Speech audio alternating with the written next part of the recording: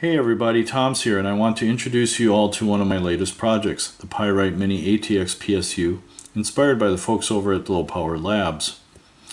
I built the Mini ATX PSU to perform controlled boots and shutdowns of my Raspberry Pi. What makes this product different from other boards that do the same thing is this. The board's physical footprint conforms to the Raspberry Pi Foundation's HAT specification.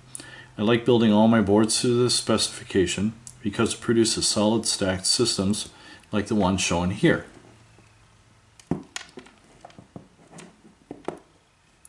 Stack systems are physically and electrically more robust. Notice another one of my boards underneath the ATX PSU, right here. This board powers the Raspberry Pi using a common off-the-shelf desktop ATX power supply. One can find these supplies for around 15 to $25.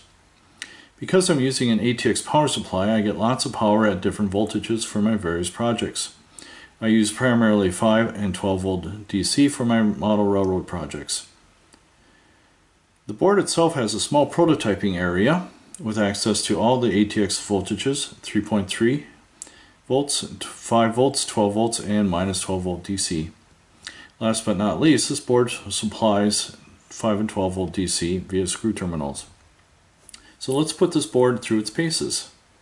Pushing the power button turns on the ATX power supply and powers up the Raspberry Pi. The power indicator blinks slowly to indicate that the Pi is booting up. Once the Pi boots up, the power indi indicator goes steady on. Depressing the power button for between one half and two seconds forces the Pi to reboot. And notice how it just fades slowly, pulsating slowly to indicate that the Pi is booting down, shutting down, and then rebooting. And we're just going to wait for it to shut, uh, turn back on, and there we go. Depressing the button for between 2 seconds and 10 seconds will shut down the Pi in a controlled manner before shutting off power.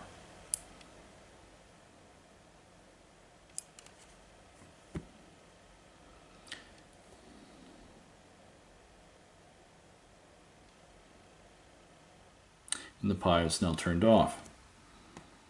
So let's start the Pi up again. Wait for the boot OK light to come on, green. And so finally, depressing the power button for over 10 seconds forces the Pi into a hard, uncontrolled shutdown before shutting off power. So let's give that a try.